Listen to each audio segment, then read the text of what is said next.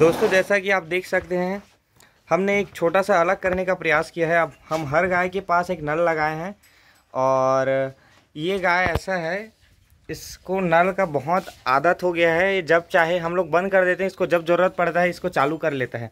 फ़िलहाल तो ये पूरा भरा हुआ है, पर इसको जब ज़रूरत पड़ता है अपने मन से चालू कर लेता है। मैं वीडियो में रिकॉर्ड करके आपको दिखाऊँगा कि कैसे इस नल को चालू कर लेता है।